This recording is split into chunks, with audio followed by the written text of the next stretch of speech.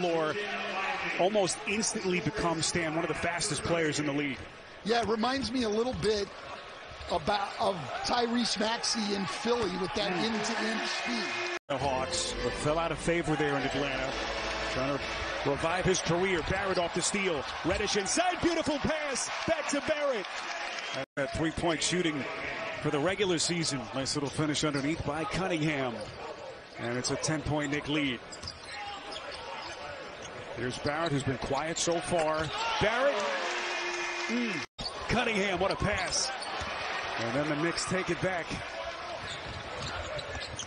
Knicks doing a great job on rotations defensively and creating turnovers, and that's what we're talking about. level guy. So he went into this summer knowing he needed to gain weight, but needed to gain muscle. So him and the strength and conditioning coach really worked on it. He gained what he said, 20 pounds of muscle. The biggest challenge for Cade Cunningham in doing so is that ever since high school, he's been vegan. Short, he's done for the night. Reddish has a sprained left ankle.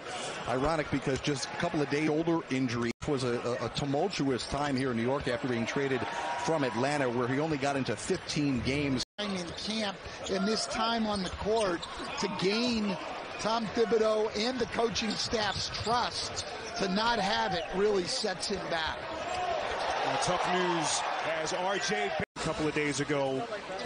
Mike, we're thinking about you, your wife Roseanne, and the entire Breen family. Mike has been a mentor to me, Stan, for a number of years. As good a, a person as there is, not only in the league, but in sports. And uh, we're thinking Mike has been an institution in this place, working alongside the great Walt Clyde Frazier on that Knicks MSG telecast. Here's RJ Barrett, going glass, and a pretty